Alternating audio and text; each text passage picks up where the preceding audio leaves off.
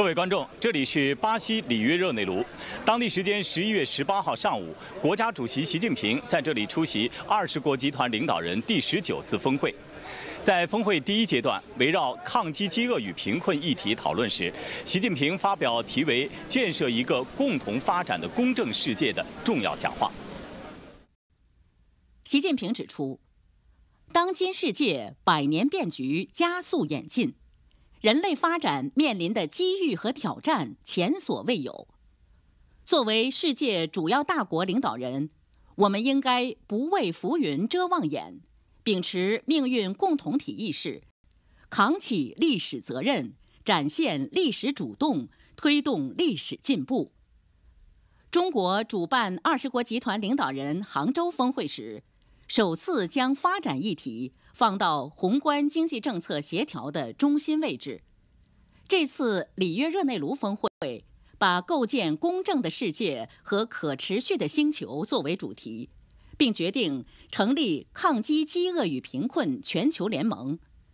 从杭州到里约热内卢，我们都致力于同一个目标，即建设一个共同发展的公正世界。为了建设这样的世界。我们要在贸易、投资、发展合作等领域增加资源投入，做强发展机构，多一些合作桥梁，少一些小院高墙，让越来越多发展中国家过上好日子，实现现代化。要支持发展中国家采取可持续的生产和生活方式，妥善应对气候变化、生物多样性丧失、环境污染等挑战。建设生态文明，实现人与自然和谐共生。要营造开放、包容、非歧视的国际经济合作环境，推动普惠包容的经济全球化，让新技术、新产业、新业态赋能可持续发展，支持发展中国家更好融入数字化、智能化、绿色化发展潮流，缩小南北差距。要坚持多边主义，维护以联合国为核心的国际体系，以国际法为基础的国际秩序，以联合国宪章宗旨和原则为基础的国际关系基本准则。习近平指出，中国发展是全球共同发展的重要组成部分。中国已经实现八亿贫困人口全部脱贫。提前完成联合国2030年可持续发展议程的减贫目标，这些成就是中国政府和中国人民戮力同心、艰苦奋斗干出来的。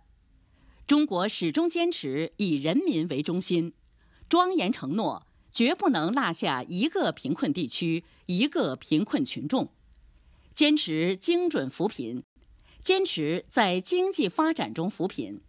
坚持在促进当地特色产业发展中扶贫，坚持在促进共同富裕中扶贫。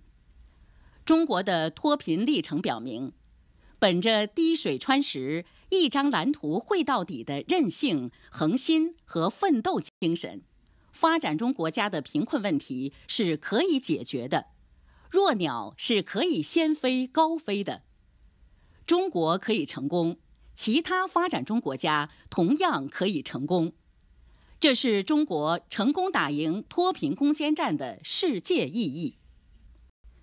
习近平强调，中国始终是全球南方的一员，是发展中国家可靠的长期合作伙伴，也是支持全球发展事业的行动派和实干家，愿同广大发展中国家携手实现现代化。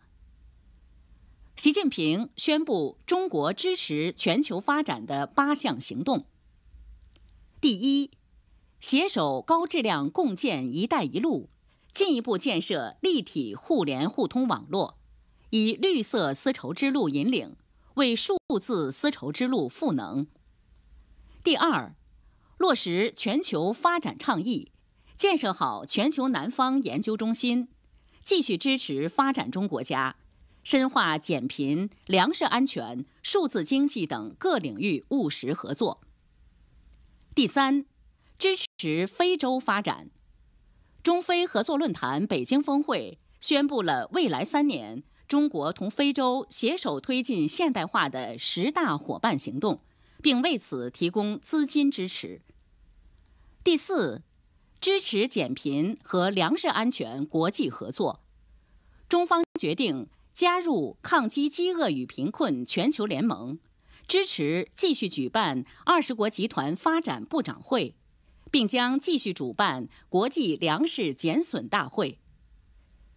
第五，中国同巴西、南非、非盟共同发起开放科学国际合作倡议，推动全球科技创新成果更多惠及全球南方。第六，支持二十国集团开展造福全球南方的务实合作。支持设在北京的二十国集团创业研究中心工作，支持各方在数字教育、博物馆数字化、古籍数字化等领域开展合作。第七，落实二十国集团反腐败行动计划，同发展中国家加强追逃追赃、拒绝腐败避风港、反腐败能力建设等领域合作。第八。中国将完善高水平对外开放体制机制，扩大对最不发达国家单边开放，已经宣布给予所有同中国建交的最不发达国家百分之百税目产品零关税待遇。习近平最后表示：“千里之行，始于足下。中方愿同各方一道行动起来。”建设一个共同发展的公正世界，让贫困成为过去，让美好愿景成为现实。巴西总统卢拉主持会议。峰会开始前，习近平同与会领导人共同出席巴方发起的抗击饥饿与贫困全球联盟启动仪式。蔡奇、王毅等参加上述活动。